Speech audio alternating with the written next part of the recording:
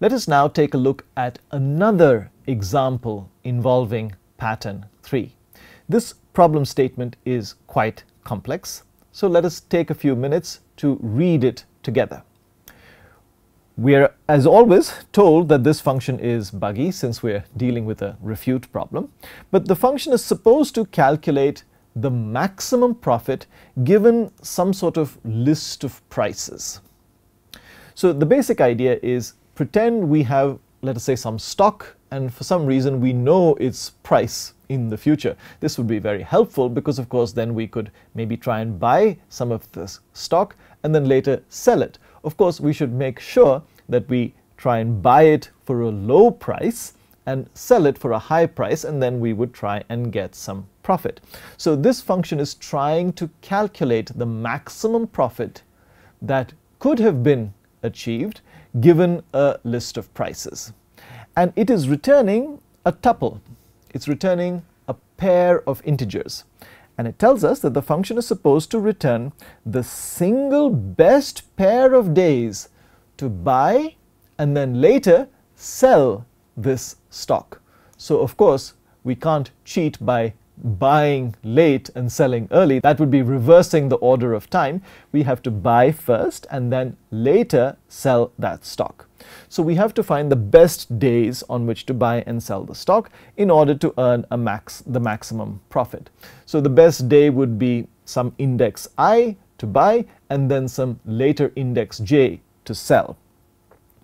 If no profit can be made, then we have to return the special pair minus 1 minus 1. So let's first take a look at an example because there is more to this doc string. The example is, let us say we're given this list of prices. Since the maximum value here is 7 and the minimum value here is 1, it would be wonderful if we could sell on day 0 and buy on day 1 because then we would earn 6 rupees or whatever the units are over here. But remember, we can't sell before we buy. So if we want to buy at this low price of 1 unit, we can only sell after day 1. We will have to let go of the stock on day 0. We would buy it on day 1, let us say. Now if we sell it on day 2, we would earn a profit of 5 minus 1, which is 4. But if we hung on to the stock until we reached day 4, then we could sell it uh, for a higher price, 6 units, and then of course we would earn 5 units of profit. Which is why for this list of prices, the best day to buy and then later sell is buy on day 1, sell on day 4. So I hope you get the general idea. But now there are some more details in the doc string, so let us take a look at that. So we've already said that if no profit can be earned, uh, then we have to return minus 1, minus 1. In this case, of course, we were able to earn some profit. But it then says, if the maximum profit can be earned in more than one way, then we have to return the closest pair of days. Intuitively, the way to think about this is once you buy something, then you have committed some of your financial resources towards that stock. And you want to quickly uh, recover those uh, resources uh, when you sell the stock. So you don't want the gap to be very big. So if you have a situation where you can buy for one unit and sell for six units, but there are two such opportunities, we want the narrowest such pair of days the closest such pair of days.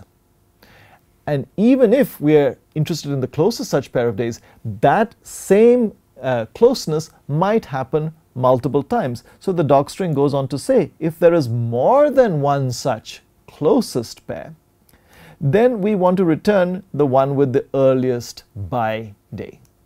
Again, the intuition is, well, if there is a way to earn this profit by uh, committing your resources for a few days here, and then again you can earn that same profit in the future, well, let's try and get that profit early. Let's put that profit in our bank account as early as we can. So that is the intuition. Finally, the docstring reminds us that these have to be non-negative prices. And again, this is a list of integers. So let's try and see if we can refute this code. Let's take a look at this code and see if we can first recognize pattern 3. As we can see, there are two nested for loops and we have seen this pattern before. For i in range len of prices, so I will loop over all legal indices in this list. And then for j, that comes after i. This is critical because remember, we can only sell after buying. So day i is going to be the day on which we buy and day j is going to be the day on which we sell. So this is pattern 3. It is trying all possible pairs i and j where i comes first and j comes later. Now before we look at the body of these for loops, let's quickly take a look at how we have initialized our variables. We have said max profit is 0 and best days is minus 1 minus 1. So this is like saying we haven't yet seen any opportunity to make profit. This might remind you a little bit like we are back to pattern 1. We're going to search until we hit some success. But this pattern is a little bit more sophisticated. In fact, you should think of these variables max profit and best days marking the best answer. They're not accumulating something necessarily, but they are saying, so far, this is the best answer that we have. Now we will search. We will search uh, for all values of i and j. For that value of i and j, let's calculate the profit. What is the amount of money we can make by buying on day i and selling on day j? So, of course, that is this difference. Now we check if this amount of profit is more than the maximum profit we have seen so far. And if it is, rather than accumulating an answer, we just want to replace the answer that we already had. Max profit should now be equal to this new, better profit. And the best days on which to do this are for this value of i and for this value of j. And we keep doing this for all i and for all j. And finally, whatever is the best answer we get, we will return that.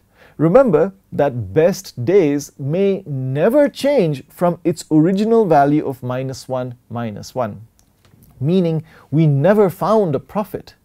And that is exactly what the docstring tells us to do. It says if you weren't able to find a profit, then you have to return minus 1 minus 1. So this code looks all right, at least for much of what the docstring is telling us. The problem, of course, is it doesn't handle all these special cases. Now, which one is it? I want you to try and find out, and I want you to try and ask ChatGPT if it can figure out where the error is.